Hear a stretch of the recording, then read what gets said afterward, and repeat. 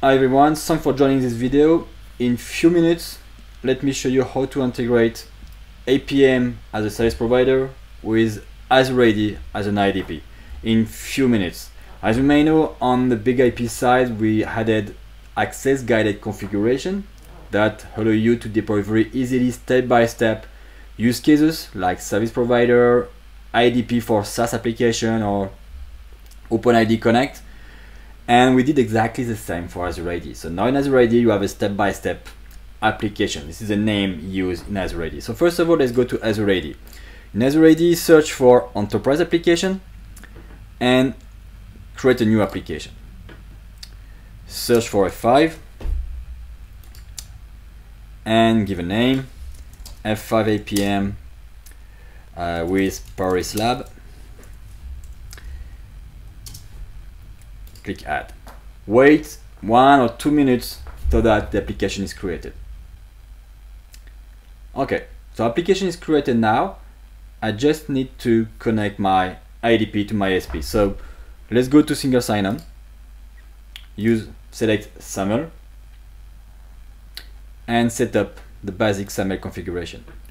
So I already created a new FQDN for the Paris lab and the DNS, F5 DNS is uh, responding to this uh, FQDN. Save it and the next step is just downloading the certificate and the metadata. So scroll down, download the metadata, download the certificate, base64. So after downloading the metadata, you just need to assign the right person. Okay, so you go to you go to user and groups, you had a user, and you can see I have only one user in this tenant. It's myself. Okay, assign. So I'm allowed to request tokens. Okay, so assertion for this application. On the APM, first of all, upload the certificate, okay? Because assertion is signed and the request is signed. So go to certificate management and import the certificate, okay? Name Azure AD. Select certificate. And go to access guided configuration. Select federate. You can see several use cases, nine use cases in the federation uh, template and select SAML service provider. Give a name, so it will be Azure AD lab. If you remember the entity ID that I put in the previous uh, screen in Azure AD, this is my entity ID, the host, assertion sign, an IP address. This is just to create your virtual server. Of course, push the right certificate. This is mine. And here, import your metadata.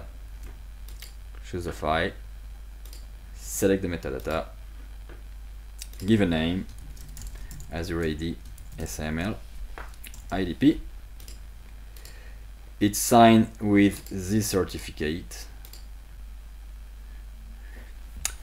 Okay, so next step is to create a pool or select a pool. So I'm gonna use uh, one of my application that I have in the in the back. So let's use uh, Akazon.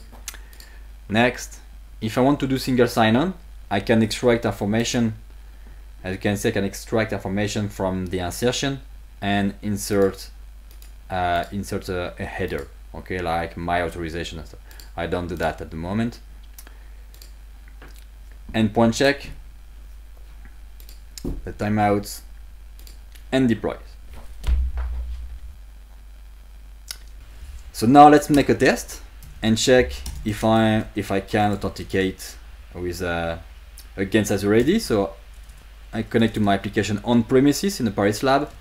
Remember this was the uh, the FQDN I'm redirected to Azure AD, authenticate with my username, my password, I don't care, I'm connected. So you can see very very fast and easy to deploy with two guided configuration one on APM side one on Azure AD with an enterprise application. Download the certificate download the metadata deploy the template and it's done. Thanks for watching